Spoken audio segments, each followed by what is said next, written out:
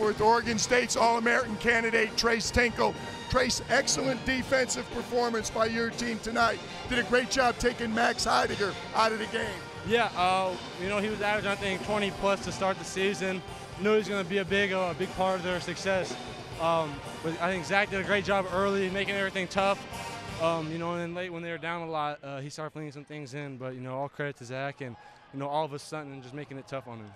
Your complete game again on display tonight. The rebounds, the assists, the steals. How do you prepare yourself? Someone who scores so many points, how do you make sure those other elements of your game are always there? Uh, I feel as if I'm playing hard, uh, the scoring will come. You know, uh, that's one thing I've just my whole entire life. You don't want to be one-dimensional, and you know, there's gonna be nights that shots aren't falling. Uh, you gotta find other ways to help your team win, and um, you know that's what I really just like. You know, put my pride on. Um, is just you know doing other things to help our team win, and then if I worry about the other things, the points will come. I know you don't look at the individual numbers. Your former teammate Stevie Thompson, you went by him tonight for number four, so that's great.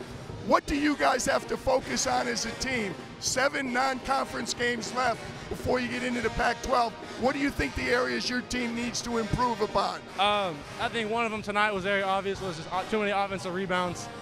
Um, you know that guy was an animal down there, number 12. Uh, but you know guards coming to help if their guys aren't crashing. They got to come sandwich guys. Um, and then you know just continue. I think we lose our discipline at times. The first half we took three really bad shots at three possessions in a row. Um, and it just got a little sloppy. So just staying disciplined and you know stick with what's working. Well, keep it up. Great job, Tres. Good luck the rest of the way. Appreciate it. Thank you. Go Beavs.